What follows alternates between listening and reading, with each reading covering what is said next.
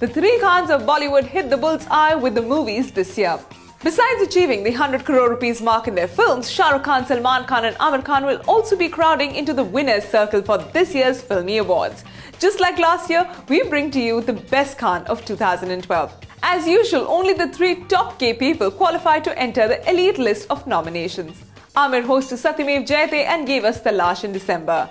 Shah Rukh Khan was seen in Yash Chopra's last directorial flick, Jab Tak Hai Jaan, and Salman showed off his antics in Ek Tha Tiger and is coming up with the second installment of the police story, Dabangg 2. So who do you think is the best Khan of 2012? Cast your vote below. Shah Rukh Khan. This was the best and the worst year for Shah Rukh Khan. The Badshah of Bollywood released Jab Tak Hai Jaan directed by his mentor and father figure Yash Chopra. Shah Rukh and Katrina Kaif romanced their way through the film, hopping in and out of bed, while Anushka Sharma was left hoping for more.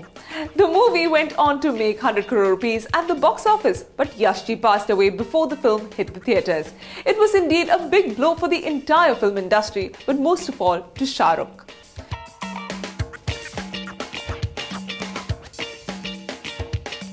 Salman Khan, the Dabangg actor, has been rocking it at the box office. Mr. Khan came out with a hardcore action flick, Ek Tha Tiger, opposite his ex-girlfriend Katrina Kaif. While she belly danced, Salman shimmied his way to big money. But this year is far from over for Salomia. Next week, we will see the second part of Chulbul Pandey's life story in Dabangg 2. Undoubtedly, the numbers are going to go through the roof. It will indeed be another hat trick for Salman.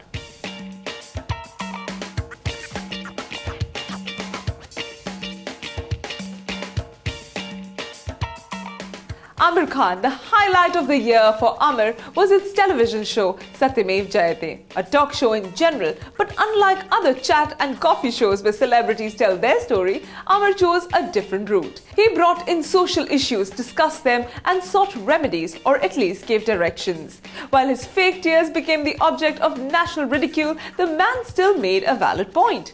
By the end of the year, Mr. Perfectionist had released his much awaited thriller, Talaash. In spite of garnering mixed reviews, the film has been doing well at the box office.